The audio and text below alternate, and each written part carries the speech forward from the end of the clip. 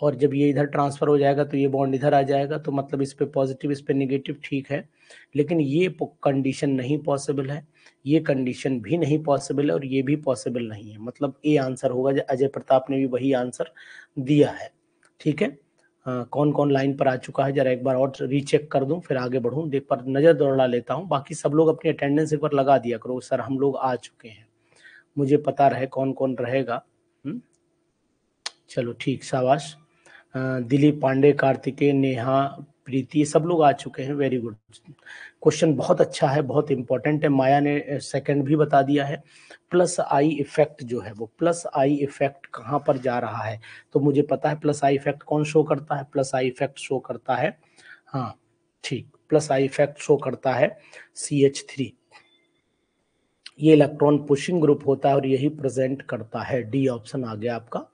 चलिए ऐसी जवाब दीजिए बड़ा अच्छी बात है। कार्तिक जवाब दो अजय प्रताप मनीष जी अनुराधा और Gopal very good nice good good evening Dilip Pandey ji.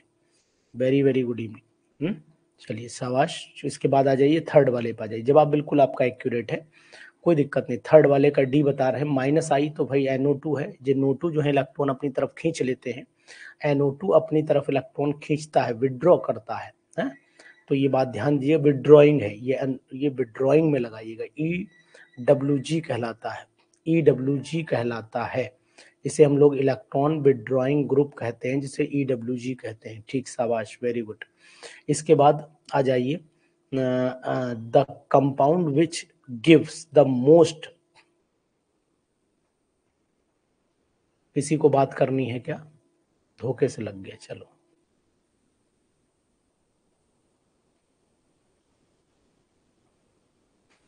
Question number next आइए फोर्थ वाले पे the compound which gives the most stable carbocation on dehydration dehydration पर बहुत अच्छा कार्बोकैटाइन कौन बनाएगा?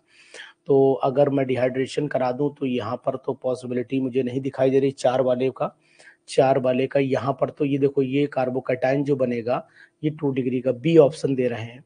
इस वाले को देख लो, ये भी ना ये भी तो ये तो नहीं बनाएगा, ये भी नहीं बनाएगा, लेकिन अगर ये बनाता है तो यहाँ पॉजिटिव थ्री डिग्री का कार्बोकैटाइन बनेगा, जो सबसे ज़्यादा स्टेबल होगा। गोपाल वेरी गुड नाइस तो इसका मतलब है आंसर बी लगा दिया जाए इसका। बी आंसर कर दिया जाए। नेहा नेहा, आपको समझ में आ रहा है? नेहा, कोई दिक्कत तो नहीं? अनुराधा अनुराधा, कोई दिक्कत हो? माया, आपको कोई प्रॉब्लम हो? माया कुमारी, आपसे बात नहीं हुई। आप, एक बार अगर कनेक्ट कर सकती हैं तो बात करिए।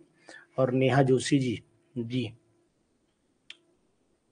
Most stable carbocation बहुत ही important very very important question for the examination point of view ठीक है। बताइएगा फिफ्थ वाले का जवाब दीजिएगा कि फिफ्थ का क्या जवाब हो सकता है। तो यहाँ पर मैं आपको बताने की कोशिश करूँगा मोस्ट स्टेबल कार्बोकैटाइन ये कार्बोकैटाइन सबसे ज़्यादा स्टेबल वहीं पर रहेगा, जहाँ पर प्लस आई इफ़ेक्ट हमें दिखाई देगा। और प्लस आई इफ़ेक्ट मतलब प्लस आर इफ़ेक्ट की मैं बात करता हूँ तो प्लस आर इफ़ेक्ट हमें यहीं पर दिखाई दे रहा है। तो ये फिफ्थ का सी हो जाना चाहिए। प्रीति वर्मा, फिफ्थ का सी होगा बेटा। फिफ्थ का बी नहीं बी नहीं होगा, फिफ्थ का सी होगा। इज़ इट क्लियर चलिए नेक्स्ट लाइन पर आ जाते हैं। ये भी बड़ा अच्छे क्वेश्चन हैं। और क्वेश्चन की सीरीज़ को भरपूर आनंद लीजिए आप। क्वेश्चन नंबर छः पे आ जाइए। कार्तिक, यस, क्वेश्चन नंबर छः पे आ जाइए। बहुत ही अच्छे क्वेश्चन है इंपॉर्टेंट क्वेश्चन। कार्तिक, आप भी जवाब दो बेटा। हाँ कोशिश करो, कोई बात नहीं। The reaction between ethylene and bromine is an किसका एग्ज़ाम्पल है? अगर इथाइलिन और ब्रोमीन की रिएक्शन कराएँ, ये मान लो आपने C H two double bond आपने सी एच टू लिया है। कार्तिक, आपको अच्छा फील हो रहा है हमारे साथ में, कोई प्रॉब्लम तो नहीं आ रही है। ये बी आर हो गया। अब इन दोनों को आप जोड़ दो तो ये बन जाता है C H two B R C H two B R simple सा रिएक्शन है। सिंपल सा रिएक्शन है, इसको आप लोग कह सकते हो, ये एडिशन रिएक्शन कहलाती है। लेकिन इलेक्ट्रोफाइल ऐड होता है मैकेनिज्म अगर जानने की कोशिश करोगे तो पहले बी आर यानी कि अगर मैं इस रास्ते आऊँ तो सबसे पहले यहाँ C H two C H two और यहाँ पर आपका बी आर पॉजिटिव इस तरीके से ऐड होता है। फिर एक बार बी आर ऐड कराओगे तो उसके बाद ये कंपाउंड बन जाता है। तो ये हो जाता है इलेक्ट्रोफिलिक एडिशन हो जाता है। एडिशन तो है, लेकिन उसमें भी इलेक्ट्रोफिलिक एडिशन कहलाता है ये। उसके बाद आइए which of the following which of the following statement regarding which of the following statement regarding the resonance energy of benzene is correct बताइए बताइए। बहुत ही अच्छा क्वेश्चन बहुत इंपॉर्टेंट क्वेश्चन और आप लोगों को मेरे हिसाब से सेवन्थ वाले का जवाब देना चाहिए। सेवन्थ का जवाब the energy is measured of stability of the benzene एक तो ये which of the following statement regarding the resonance of the benzene is correct the energy required to break hydrogen वो इन ये नहीं है, गलत है। The energy required to break the carbon carbon ये भी गलत है। The energy is measure of the stability of the benzene energy required to convert ना ये होगा सी ऑप्शन होगा, बिल्कुल हंड्रेड परसेंट वनीश जी गोपाल और अजय प्रताप, शिवानी, मनु, लुबना, दिलीप, सेवंथ का बेटा सी होगा। समर ने जवाब नहीं दिया प्रीति वर्मा ने भी सी दिया, वेरी गुड। कार्तिक, आप जवाब बिल्कुल नहीं दे रहे हो बेटा। थोड़ी कोशिश करो, गलत तो ही होगा, गलती ही हो सकती, इससे ज़्यादा कुछ नहीं होगा, कार्तिक। जवाब दीजिए बेटा। इसके बाद नेक्स्ट पर आओ। मैं तो उम्मीद करता हूँ कि आप लोग इसी तरीके से जवाब देते रहेंगे। हमें भी अच्छा लगता है जब हमारे जो छोटे भाई हैं, जवाब देते तो बड़ा आनंद आता है। इसके बाद आइए, क्वेश्चन नंबर नेक्स्ट पर आ जाइए। Consider the following carbocation. इसमें correct order of sequence stability का बताना है तो मेरे हिसाब से इसमें सबसे ज़्यादा स्टेबल तो ये फिनाइली वाला हो जाएगा, है ना? ये इसके बाद ट्राई मिथाइल आ जाएगा, ये नंबर आ जाएगा तो इसका मतलब है consider the following sequence of stability बताना है। तो एट्थ वाले का मेरे हिसाब से सबसे ज़्यादा स्टेबल तो इसे होना चाहिए। उसके बाद नंबर आना चाहिए इसका, फिर आना चाहिए इसका, और फिर आना चाहिए इसका। मतलब जो ऑर्डर आना चाहिए वो आना चाहिए फोर्थ सबसे ज़्यादा उससे कम पे आना चाहिए थर्ड और थर्ड से कम पे आना चाहिए आपका फ़र्स्ट और फ़र्स्ट से कम पे आना चाहिए सेकंड यानी ए वाला अजय प्रताप ऑप्शन सही होना चाहिए। अजय अजय हमारे साथ अच्छा फील होता है आपको कोई प्रॉब्लम तो नहीं आती अजय। कोई दिक्कत तो नहीं है आपको। हम्म आपका हम्म, पड़ोसी हूँ लेकिन मिला अभी तक नहीं आपसे। हाँ फिर भी आपको उम्मीद करता हूँ कि हमारे बातों से, हमारे विचारों से प्लस हमारे क्वेश्चन से आप लोग सेटिस्फाइड होंगे। Which of the following is the correct order of the stability of the free radical तो फ्री रेडिकल में फ्री रेडिकल में स्टेबिलिटी का जो ऑर्डर होना चाहिए, वो मेरे हिसाब से benzyl allyl three two one है। तो नाइन्थ वाले का जवाब भी क्या फिर ए ही लगा दूँ? नाइन्थ वाले का जवाब भी क्या ए ही लगा दूँ? जी सवाश वेरी गुड बहुत सुंदर शिवानी अनुराधा वनीस हाँ लगाइए, जवाब लगाइए। बहुत अच्छी प्रैक्टिस चल रही है। देखिए, कितने अच्छे लोग जवाब दे रहे हैं यार। तुम लोगों के सिलेक्शन कोई रोक नहीं सकता है। बस अरते बस एक बार आप लगे रहे पूरे, जब तक एग्ज़ाम ना हो। कुछ लोगों ने अपने आप को सरेंडर कर दिया है, हताश हो चुके हैं और उन लोगों ने कह दिया, सर, अब छोड़िए एग्ज़ाम एग्ज़ाम होगा नहीं। तो इंटरेस्ट भी उन्हें नहीं आ रहा होगा, लेकिन जिनको लगता है तो वो एग्ज़ाम में, कार्तिकेय, आपको क्वेश्चन सही लग रहे हैं। एग्ज़ाम तो होना तय है, निश्चित है। है ना? और बिहार वाले तो डटे रहे बिल्कुल मौका वारदात पे, क्योंकि इनका फ़र्स्ट मतलब दिसंबर के फ़र्स्ट वीक में ही हमला हो जाना है। Which of the following is correct of the stability of phenoxide ion phenoxide ion की स्टेबिलिटी का करेक्ट स्टेबिलिटी कौन सी है? तो resonating structure of the benzene ring delocalization the pi electron of the phenoxide and delocalization होना चाहिए। तो tenth का जवाब मेरे हिसाब से सी आना चाहिए, अनुराधा। बिल्कुल very good Dilip Pandey. C आना चाहिए। Dilip are you feeling better पहले से आप ठीक महसूस कर रहे हैं अपने आप को। आपको डेंगू से पीड़ित हुए थे आप। Which of the following is not a Lewis base इसमें कौन सा लुइस बेस नहीं है? तो ए जो है, वो लुइस एसिड है लुइस बेस नहीं है। ए लुइस एसिड है लुइस बेस नहीं है। Arrange the following nucleophiles in the order of their nucleophilic strength यही क्वेश्चन बहुत बार बच्चे ग्रुप में डालते हैं। तो बारह का जवाब मैं आपको बताना चाहूँगा कि अरेंज द फॉलोइंग विद देखो ये ओ सी एस थ्री हमेशा अगर मैं आपको देखने की कोशिश करता हूँ तो यहाँ पर ऑर्डर जो होना चाहिए, वो क्या होना चाहिए? कुछ किताबें जो हैं, वो बताती हैं। जरा बारह वाले पर नज़र दौड़ाइए, बारह वाले पर नज़र दौड़ाइए। क्या होगा बारह वाले का? आंसर दीजिए। बारह वाले का ए होना चाहिए। बिल्कुल एक्यूरेट ए ही होना चाहिए।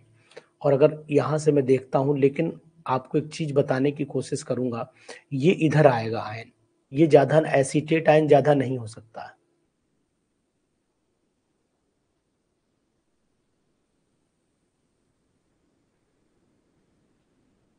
हम्म बिल्कुल, हंड्रेड परसेंट। देखो, ये तो गलत है। ये मैं आपको बताऊँ, ये चीज़ ज़्यादा नहीं हो सकती है तो इसलिए ये तो गलत हो गया। इधर होता तो मैं मान लेता एक बार को, सी ही है। आंसर तो सी ही है, लेकिन समझना पड़ेगा कैसे? देखो, कुछ किताबें ये कह देती हैं, मैं बताता हूँ दीक्षा ऐसा क्यों कह रही हैं, क्योंकि मैं आपको बताने की कोशिश ये करूँगा कि कुछ किताबें ये कहती हैं कि ओ सी एच थ्री जो है, वो सपोर्टिंग ग्रुप है, इसीलिए इसको ज़्यादा होना चाहिए। कोई बात नहीं, आंसर तो सी है बेटा, ये तो कंफर्म है, लेकिन अब इस आंसर को भी मैं कंफर्म कर देता हूँ, वो मैं आपको बताने की पूरी कोशिश कर रहा हूँ।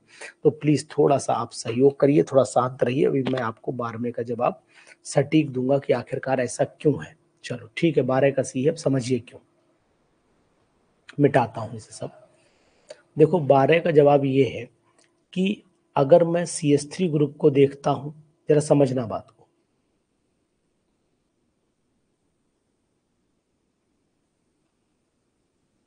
कोई बात नहीं, बस बस, हो गया हो गया, ठीक है, मैं समझ रहा हूँ।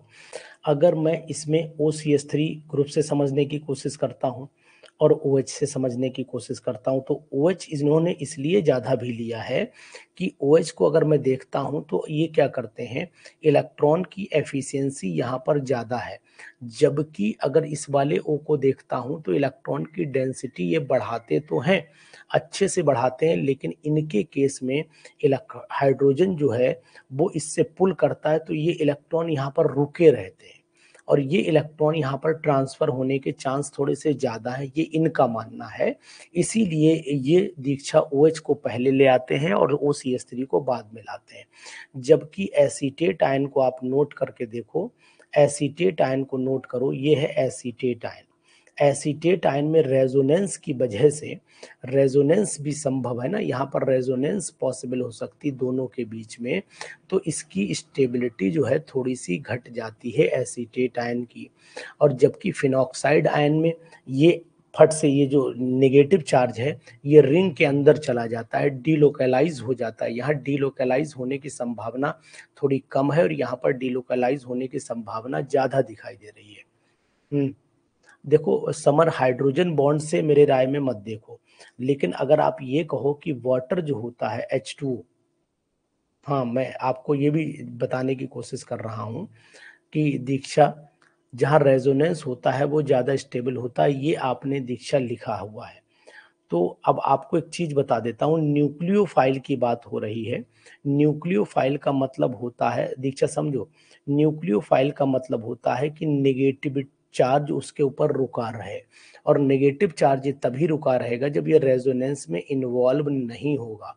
रेजोनेंस में इन्वॉल्व नहीं होगा। तो इसलिए इस बात को दीक्षा ध्यान दो कि आंसर डी नहीं सी ही बेटर होगा। सी ही बेटर इसीलिए मैंने इसको सी बोला है। ठीक है? जबकि कुछ किताबें ओ सी एस थ्री को इधर ले आती हैं, इस साइड में ले आती हैं, इस साइड में। तो उन पे अभी आप परेशान ना हो, इसमें ऑप्शन भी नहीं दिया है। और इस पर एक काम मैं और करूँगा, इस इस काम, एक काम और करूँगा कि इस पे करीब पंद्रह क्वेश्चन बनाऊँगा। दीक्षा, तुम्हारे लिए मैंने सोचा है, तुम्हारे का मतलब सभी के लिए सोचा है। कल जब आप क्वेश्चन डिस्कशन कर रहे थे ग्रुप के अंदर तो मैंने जो नोटिस किया, वो ये नोटिस किया कि इस टाइप के क्वेश्चन बहुत गलत हो रहे थे।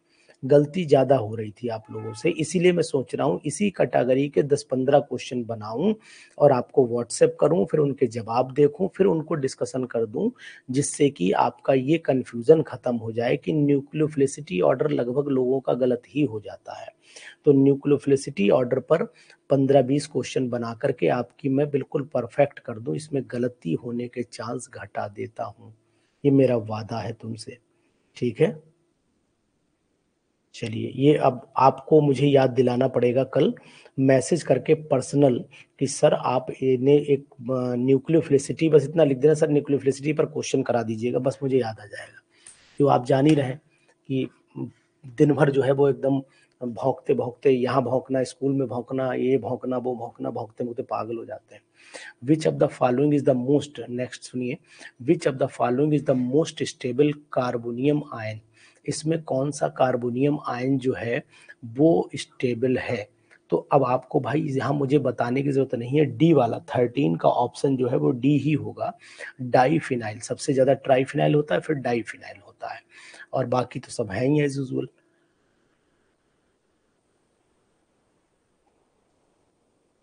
फोर्टीन पे आइए।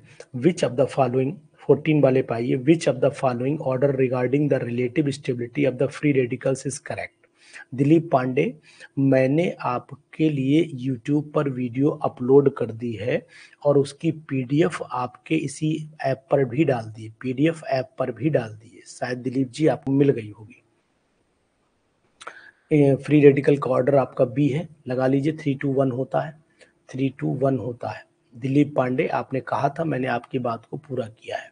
The molecule having the largest dipole moment among the following the molecule having the largest dipole moment बहुत ही important question very very important Bihar PGT में समझ लो ये रखा हुआ है। लिख लो आज ही। ना आए तो हंड्रेड परसेंट आप मेरे पास आना। 2023 में जो पीजीटी एग्ज़ाम होने जा रहा है, उसमें ये आएगा, मेरा वादा है आपसे हंड्रेड परसेंट ठीक है? तो पंद्रह वाले का कह रहा है dipole among the following highest dipole moment किसका होना चाहिए? तो जवाब गोपाल जी ने दे दिया है सी हम्म, बिल्कुल ठीक। डाइपोल मोमेंट के बारे में बताए ना सर। चलो डाइपोल मोमेंट क्या होता है? मैं आपको बताने की कोशिश करता हूँ। देखो ये मैंने हाइड्रोजन लिया और ये क्लोरीन लिया। इस क्लोरीन की टेंडेंसी अपनी तरफ़ इलेक्ट्रॉन खींचने की तो पार्शियल नेगेटिव आ जाता है पार्शियल पॉजिटिव आ जाता है। ठीक है?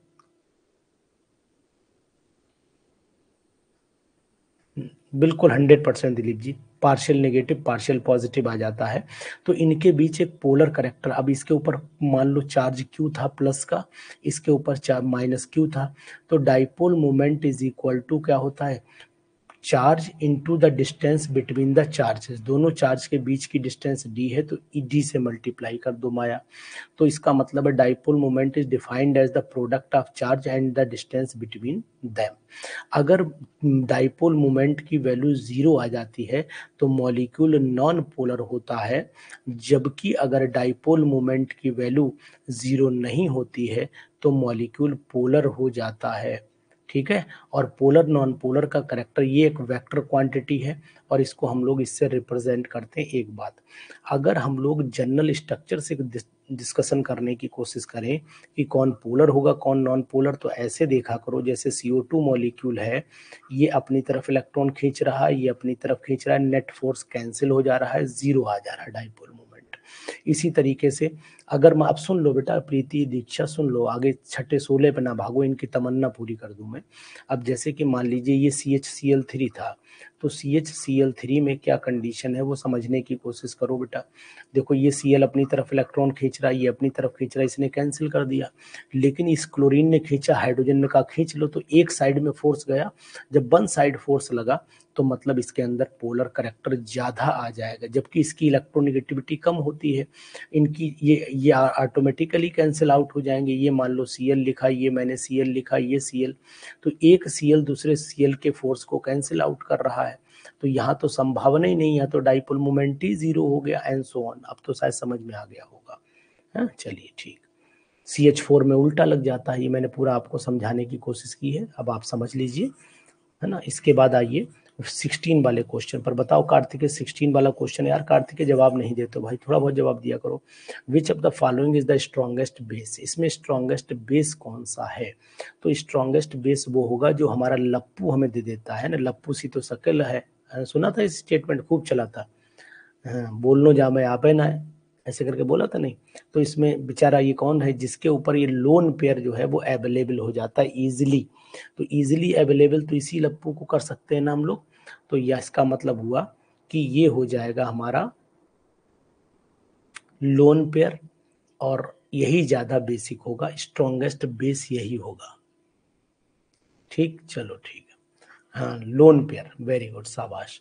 अवेलेबिलिटी है। बाकी सब में डीलोकलाइज हो जा डीलोकलाइज हो जा रहा है।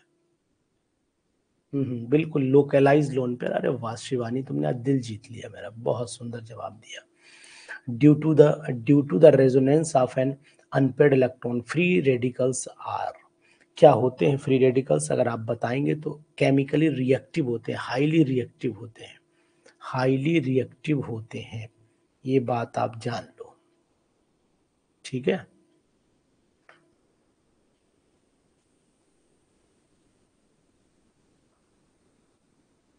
Which of the following P K A value represent the strongest भाई, जिसकी मोर पी के ए मोर पी के ए तो इसका मतलब हो जाता है लेस एसिडिक लेस एसिडिक इस बात को भी ध्यान देना है।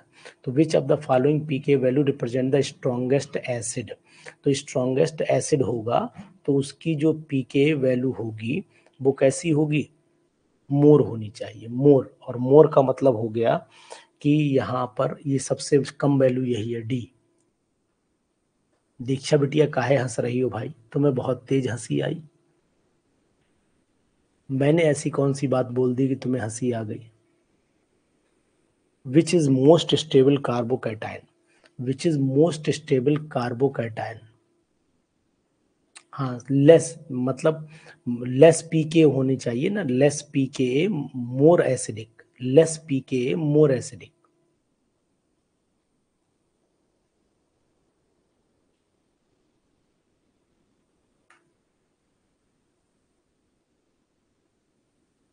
उन्नीस वाले का देखिए मोस्ट स्टेबल तो यही होगा ना ट्राईफिनाइल मिथाइल कार्बोकैटाइन ठीक, शाबाश। बीस वाले पे आइए।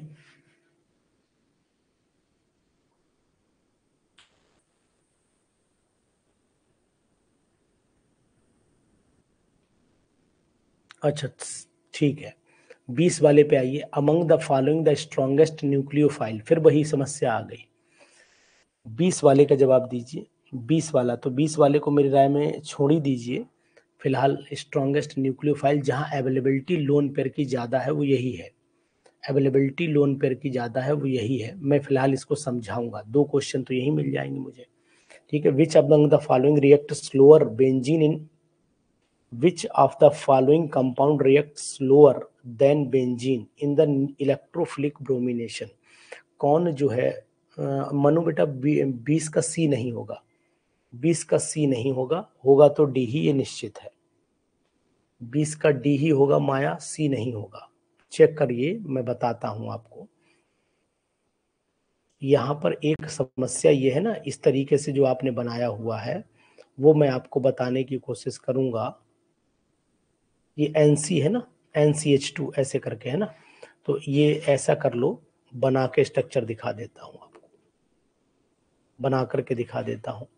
यहाँ पर मैं लिख देता हूँ C H two N C C N है sorry C H two C N है। मुझे उल्टा दिखाई दे रहा है। C H two C N है। मैं गलत पढ़ गया उसे। C H two C N है। हम्म? देखो बेटा आइसो नहीं है। आइसो नहीं है। ये C H two C N है, इसीलिए मैं भी उल्टा ही आइसो ही पढ़ गया, जबकि ये साइनाइड है। ये इधर से नेगेटिव है, ये ऐसे लिखा गया है, उल्टा लिखा गया है डराने के लिए। ये एनसी नहीं है।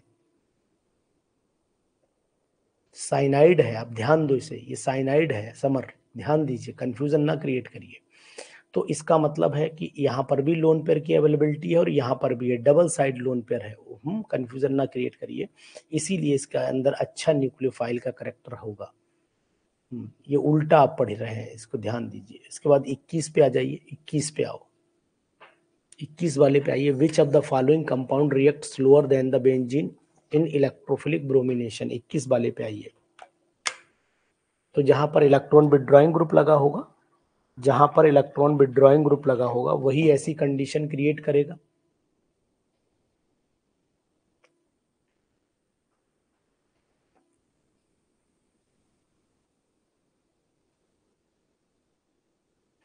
Which of the following is the most reactive nucleophilic substitution reaction बताइए which of the following is most reactive electrophilic nucleophilic substitution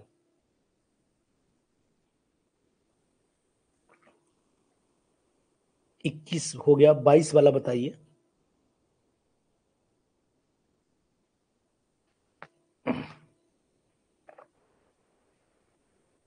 nucleophilic substitution, बाईस वाले का डी होगा। ठीक है, बिल्कुल हंड्रेड परसेंट बाईस वाले का भी डी ही होगा। स्टेबल कार्बोकैटाइन कहाँ बनेगा? यहीं बन पाएगा ना? स्टेबल कार्बोकैटाइन यहीं पर बनेगा ना? यहाँ लिख देना आंसर समझने के लिए more stable carbocation more stable carbocation ठीक है? मोर स्टेबल कार्बोकैटाइन बना पाओगे? नहीं बना पाओगे? एलाइल कार्बोकैटाइन बनेगा ना? एलाइल कार्बोकैटाइन बनेगा। देखो बेटा, ये सीधा करके लिख लो ना, परेशान होने की बात नहीं है, सीधा करके लिख लो। ये है ना, यहाँ पर पॉजिटिव आ गया और ये हटा दो। ये हटा दो। तो ये तो हिस्सा हुआ एलाइल कार्बोकैटाइन आया ना। माया देखो बेटा, एलाइल कार्बोकैटाइन हम्म। यही केमिस्ट्री का जलवा है, देखता कुछ और है, होता कुछ और है। बहुत गहरी केमिस्ट्री है इसके अंदर। केमिस्ट्री है बड़ी बेवफा, रात में याद की, सुबेरे सफ़ा।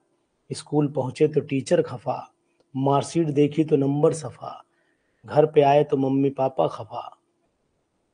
बड़ा खतरनाक मामला है। तेईसवें पे आइए।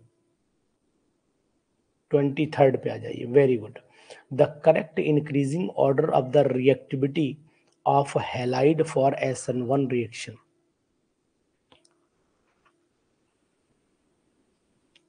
the correct increasing order of the reactivity of halide for SN1 reaction. बोलिए।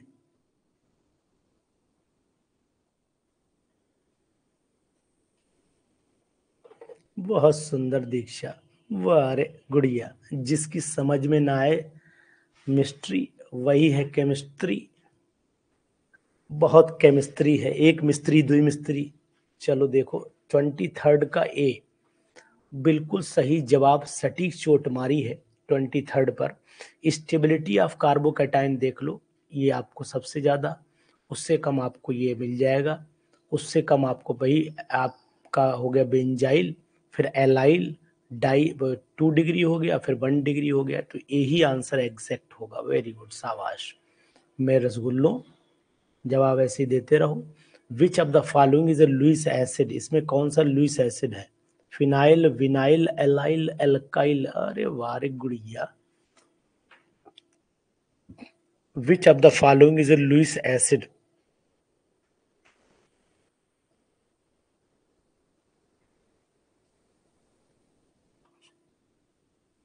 A होगा।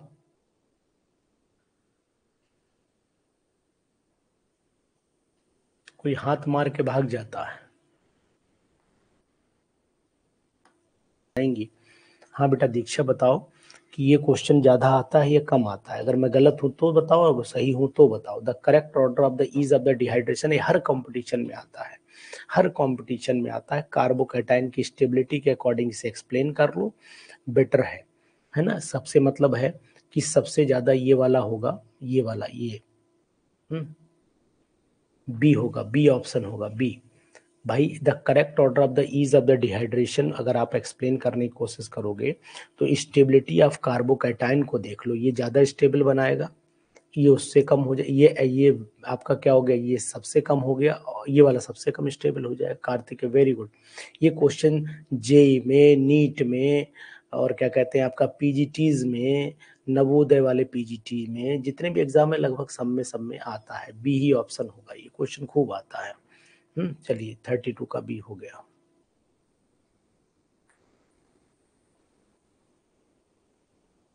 हम्म ठीक है। यानी कि two one zero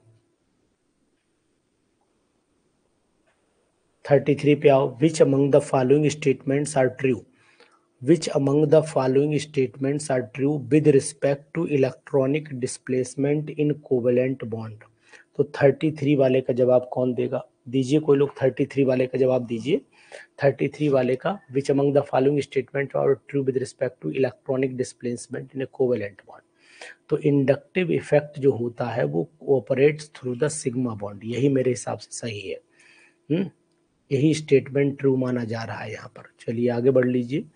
हाँ, उसके बाद नेक्स्ट क्वेश्चन अच्छा नीचे और भी पाँचों स्टेटमेंट है। ओ हो हो हो रुक जाओ रुक जाओ रुक जाओ रुक जाओ बेटा। आंसर नीचे है। आंसर नीचे है मैंने ऊपर ही देख लिया केवल। थर्टी थ्री वाले को दोबारा देखिए। थर्टी थ्री वाले को दोबारा देखिए। ये भी सही है। Resonance effect operate between sigma तो यानी कि दो और तीन सही होगा फिर ये सही हो जाएगा। नहीं दो और तीन देखो। Which among the following statements are true with respect to the electronic displacement तो रेजोनेंस भी तो होता है। थ्रू द सिग्मा बॉन्ड ये गलत है ये। ई होगा।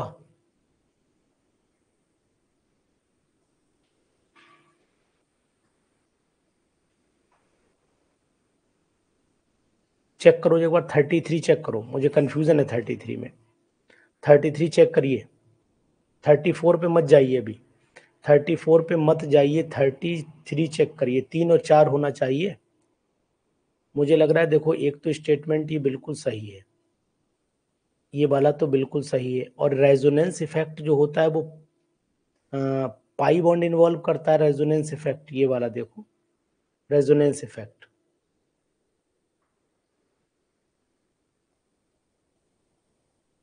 या, ये वाला सही है। कौन सा सही है? थर्टी थ्री बताइए आप। यहाँ पर मुझे थोड़ा सा डाउट है, इसलिए मैं रुका हुआ हूँ। सी सही है? टू थ्री कौन सा है बताओ? सी कर दूँ? हाँ ठीक। तो यानी सी को फाइनल कर दूँ। चलो, आप लोग बताना, मुझे इस पर डाउट है। और आप लोग मुझे बताओगे कि सर ये वाला जवाब थ्री फोर सही है या कि थ्री आप मुझे व्हाट्सएप करके मैसेज बताओगे क्यों? अभी इस पर समय खराब नहीं करूँगा। हम्म? चलो, उसके बाद आ जाओ। कोई बात नहीं, मैंने दोनों, मुझे भी ई ही लग रहा है, लेकिन मुझे डाउट है अभी थोड़ा सा। ई ही है, बिल्कुल हंड्रेड परसेंट ई ही है। मुझे भी लग रहा है, लेकिन थोड़ा सा डाउट लगा मुझे, इसलिए बोल रहा हूँ। हालाँकि तीन और चार मैंने टिक कर रखे हैं। तीन और चार मैंने टिक कर रखे हैं इस पर। चलो, कोई बात नहीं। इन विच, चलो ठीक, in which alkyl halide S N two mechanism तो एस एन टू मैकेनिज्म तो प्राइमरी में होती है तो थर्टी फोर वाले को क्या करूँ? इसमें लगाऊँ कि इसमें लगाऊँ? ए लगाऊँ? चलो ठीक। इसके बाद आ जाइए ए लगाइए। बिल्कुल एक्यूरेसी के साथ चल रहे हैं हम लोग। एस एन वन में थ्री डिग्री हो जाएगा। अच्छा ऑर्डर लगाना है ऑर्डर लगाना है तो थर्टी फाइव वाले का, चलो देख लेते हैं एस एन वन पे ऑर्डर आगे दिए होंगे ऑर्डर आगे दिए होंगे। देख लो, समझ लो बेटा, ये थ्री डिग्री का है, ये आपका डाई फिनाइल ब्रोमाइड दिया मिथाइल ब्रोमाइड ये दिया है तो इसका मतलब यहीं पर ऑर्डर लगा लो, फिर आगे मिलान कर लेंगे। ऑर्डर लगाओ, फिर मिलान करेंगे। सबसे ज़्यादा कौन सा होगा? मेरे हिसाब से ये होगा, फिर ये होगा, यानी टू, थ्री और one, four. Two, three, one, four. चलो मिलाते हैं। थर्टी फाइव का टू, थ्री, वन, फोर।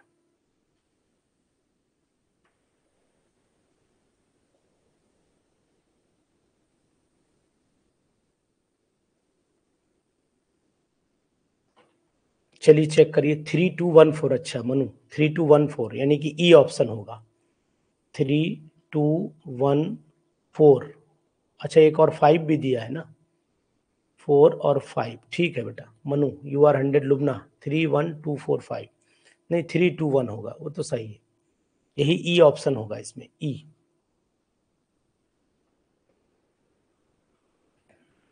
ठीक है ई ही होगा। बिल्कुल सही है। Three two one, four, five. ठीक एक्यूरेट है। इसमें बहुत डाउट नहीं कोई। दीक्षा रानी की जय। स्वाति महारानी की जय। जी थर्टी सिक्स बताओ बच्चा। थर्टी सिक्स वाला बताओ। The hydrolysis of the two bromo three methyl butane by S N one S N one is given by two bromo three methyl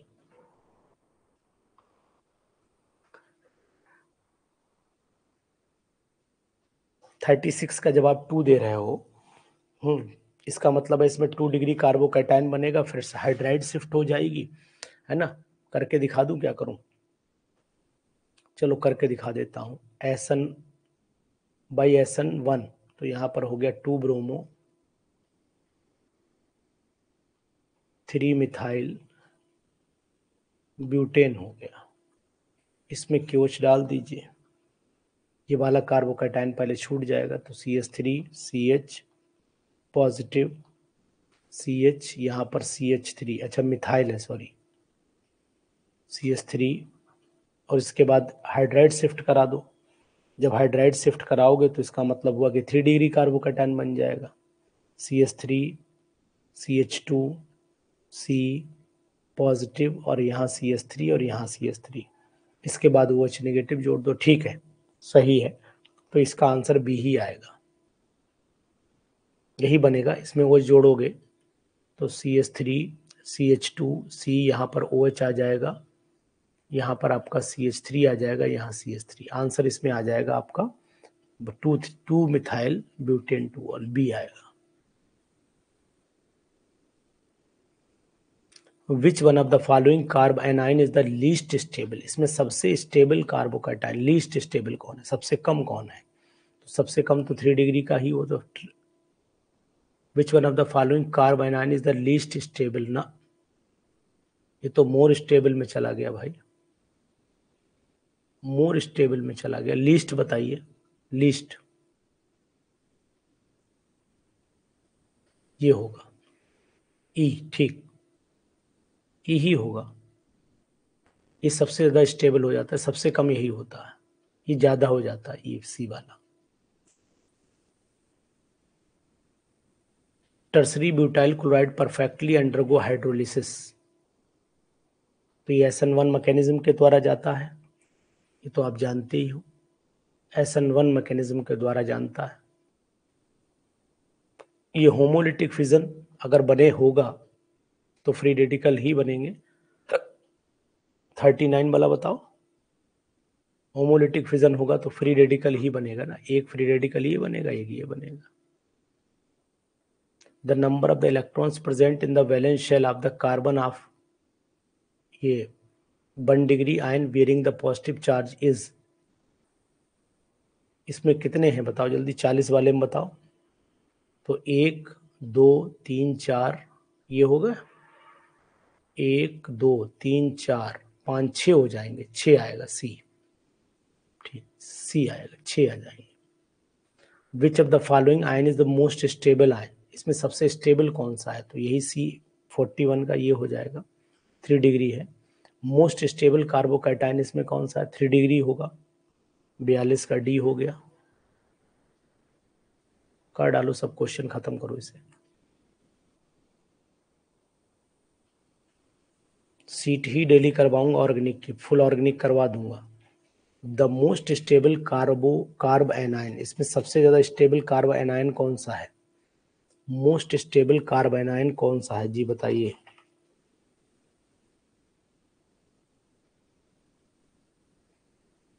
methyl कार्बोनाइन सबसे ज़्यादा स्टेबल है? ठीक।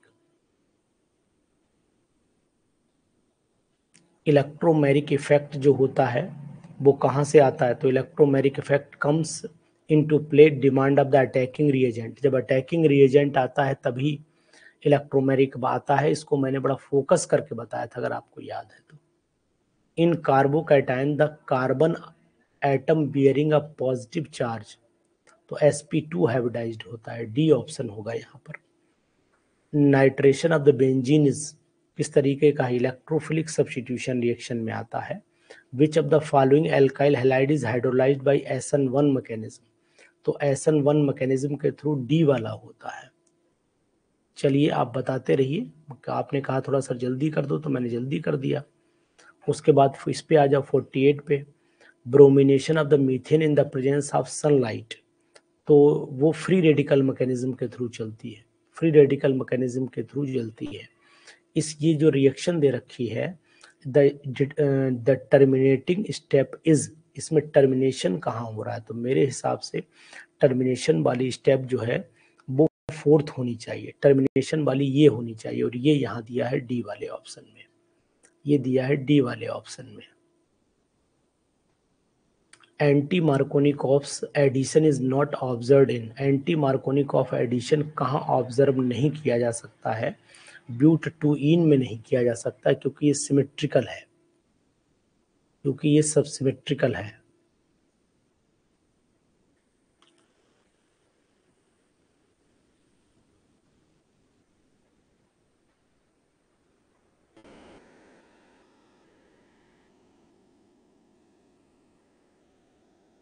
उसके बाद इक्यावन में भी आ जाइए फिफ्टी वन पे आइए। 51 कह रहा है कि ये रिएक्शन दे रखी है। ये एक्चुअल में एडिशन रिएक्शन मेरे हिसाब से ये रिएक्शन न्यूक्लियो आपने देखा होगा ये कार्बोनाइल कंपाउंड में एडिशन रिएक्शन में पढ़ा जाता है। बनीश जी कुछ समझ में आ रही बात? हम्म, चलिए यह उल्टा सॉल्व कर लेते हैं सिक्सटी से सॉल्व कर लेते हैं। सिक्सटी से सॉल्व कर लेते हैं। Among the following the correct order of basicity तो जिसका एसिड स्ट्रॉन्ग होगा एसिडिक करेक्टर का मतलब इसका पहले हम कॉन्जुगेट एसिड देखें क्या होगा। इसका conjugate R C double O H होगा, ये कॉन्जुगेट एसिड होगा, ये सबसे ज़्यादा होगा, उसके बाद वाटर आएगा, और वाटर के बाद एल्कोहल आ जाता है, और एल्कोहल के बाद अमोनिया आ जाता है। तो कॉन्जुगेट एसिड जिसका स्ट्रॉन्ग होगा, उसका कॉन्जुगेट बेस भी स्ट्रॉन्ग होगा, वो उसका कॉन्जुगेट बेस वीक होगा।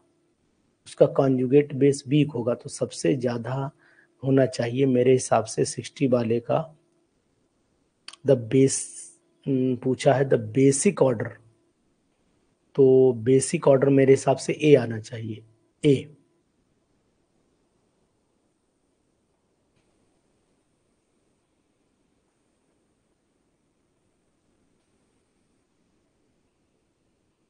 बी आएगा बी ये आएगा।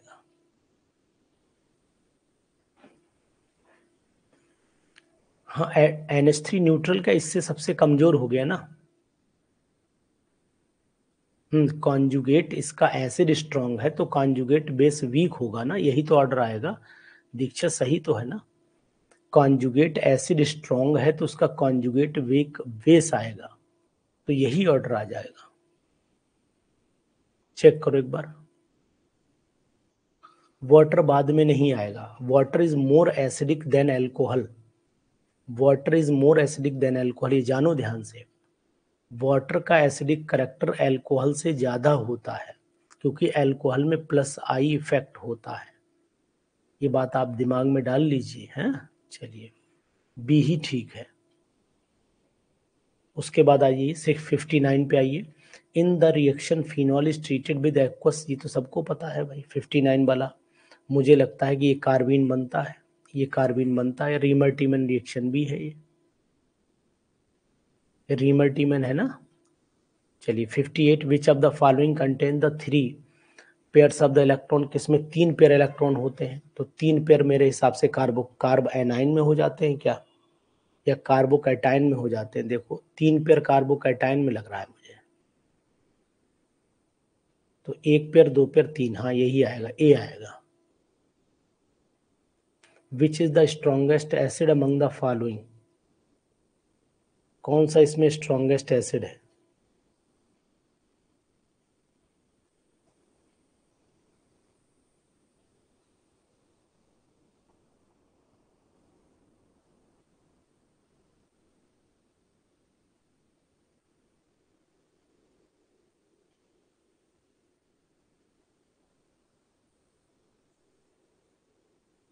डी फिफ्टी सेवन वाले का जवाब दीजिए। फिफ्टी सेवन का डी दे रहे ना? फिफ्टी सेवन का डी बिल्कुल सही है। ठीक, सही है एक्यूरेट है। वैल्यू देखिए, कम ज़्यादा, बाकी कुछ नहीं देखना है। चलिए फिफ्टी सिक्स वाले पे आइए। In the Friedel Crafts reaction the electrophile is यही होगा बी फिफ्टी फाइव वाला देखिए, पचपनवा क्वेश्चन देखिए। Which is the decreasing order of the acidity in the तो सबसे ज़्यादा एसिडिक तो मेरे हिसाब से ये होना चाहिए। ये नंबर वन वाला वन केवल एक, दो में दे रखा है तो या तो ए होगा या डी होगा। फिफ्टी फाइव वाले को देखो, या ए होगा या डी होगा। तो मेरे हिसाब से फोर्थ चेक कर लो। फोर्थ वाला कम होता है तो डी ही ऑप्शन होगा डी नहीं डी होगा। देखो, ये वाला सबसे जो थर्ड वाला है, यहाँ पर एल्काइल ग्रुप इतना बड़ा लगा है यहाँ पर केवल इतना लगा है तो थर्ड वाला यहाँ आ जाएगा, सबसे कमज़ोर। हम्म? अच्छा क्वेश्चन है ना, थोड़ा सा टाइम कंज्यूमिंग है और कुछ नहीं। फिफ्टी फोर वाले पे आइए। कार्बोकैटाइन की स्टेबिलिटी का डिक्रीजिंग ऑर्डर कौन सा है? तो कार्बोकैटाइन सबसे ज़्यादा स्टेबल टर्सरी सेकेंडरी प्राइमरी तो वो 54 वाले को देखो बी होगा। प्राइमरी सेकेंडरी टर्सरी कार्बोकैटायन का स्टेबिलिटी का ऑर्डर सबसे कम स्टेबल ये तो गलत दिया। Which one of the following is the correct order of the decreasing stability carbanion है सॉरी तो यही होगा। कार्ब एनाइन है। एक कार्ब एनाइन है। हम इसे कार्बोकैटाइन पढ़ रहे थे अभी। कार्बोकैटाइन नहीं कार्ब एनाइन है बेटा। 53 देखो। Heterolytic fusion of a covalent bond can form क्या बनाता है हेट्रोलिटिक फ्यूजन कार्बोकैटाइन और कार्बोनाइन बनाते हैं। 53 का B 52 methyl chloride reacts with the solution of NaOH the mechanism कौन सी मैकेनिज्म जाएगी? मिथाइल क्लोराइड रिएक्ट विद तो SN2 मैकेनिज्म जाएगी।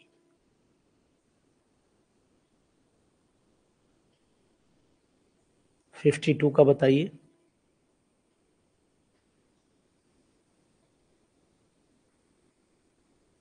एस एन टू जाएगी एस एन टू यहाँ एस एन टू कर लो। बी लगा दो।